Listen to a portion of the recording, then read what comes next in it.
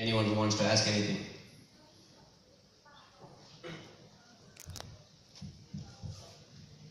Anybody, come on. There has to be question. Important thing is not to stop questioning. Yes, absolutely. Welcome, Pradeep. He is a para-Olympic athlete and uh, for shot put. And he is doing sports psychology course here in Maharishi Dayanand University. He's a great guy. And uh, he took this opportunity to come to the auditorium because he knows that the physiotherapy conference is going on. Okay, and he wanted and he knows the importance of the role of physiotherapist for this uh, sports. And he was directly taking my contact and uh, he's a great guy. We'll see what question he has. Can we have the mic passed on to him?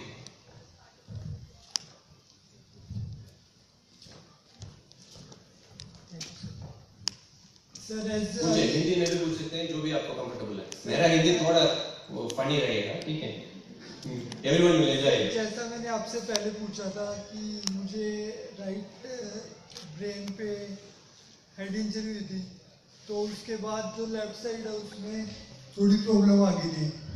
और अब जो मैं सुबह उठता हूँ specially in winter season तो काफ़ी stiffness होती है और चलते टाइम स्टार्टिंग में सबसे पहला एक्सपीरियंस पेन होता है। तो उसके लिए जैसे आपने बताया कि मेंटली कैसे हमें एक्सपीरियंस करना चाहिए इन चीज़ों को। Please share very important question है।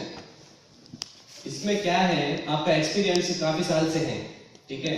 तो आपको ये भी आपको ध्यान में ऐसा हो जाएगा, जैसा आपको मेमोरी में, जैसा सुबह आ गया तो मेरा हाल यही होगा। आधा घंटा वो मुश्किल ही रहेगा, ऐसा हाँ? Pardon me for those who don't understand Hindi. I will repeat it in English. Don't उसमें अभी आप क्या कर सकते हैं? एक टेक्निक है। जैसा एक्चुअल मूवमेंट करना, एक टेक्निक है नॉर्मली करना।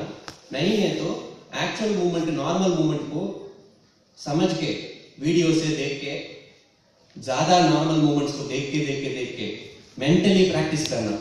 मेंटली आपको ऐसा प्रैक्टिस करना है जैसा मैं नॉर्मली कर रहा हूँ। ठीक है?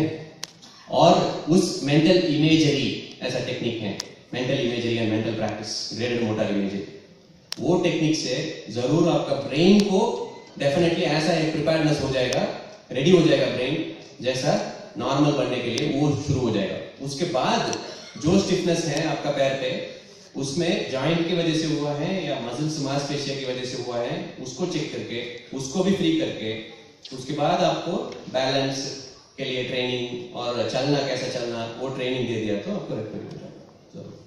उसके बाद आपको लास्ट स्टेज में आपका स्पोर्ट स्पेसिफिक जैसा आपको शार्ट फुट है तो उसमें आप खड़ा होकर कैसा शार्ट फुट करते हैं उसको भी फंक्शनली हम स्पोर्ट स्पेसिफिकली भी ट्रेन करेंगे thank you sir the question was he has light hemiplegia and he was having morning stiffness and difficulty when he begin the day and it's been there for so many years because he had head injury old history of head injury And uh, he was asking anything can we do for the brain? Yes, absolutely. I said that the best thing is visualize the normal movements, rehearse the normal movements like motor imagery or mental practice. Okay, and then see the visuals and the videos of normal movements happening on the right leg.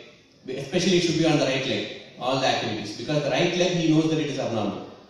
So that if he does the mental practice, after that subsequent assessments can go on to the seeing which is the impairment which is causing the stiffness. Whether it is a secondary degenerative joint disease of the knee which is causing morning stiffness or is it to do with circulation and uh, muscles uh, stiffness.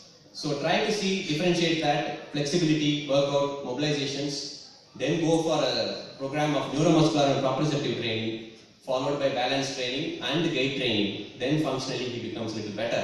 Follow principles as was told by Dr. Prabhat sir also for right hemiplegia, okay, the gait training and everything. Then the late stage we can go on to sport specific training because he is a shot put player. So we need to integrate that in the action of shot put, how his right lower limb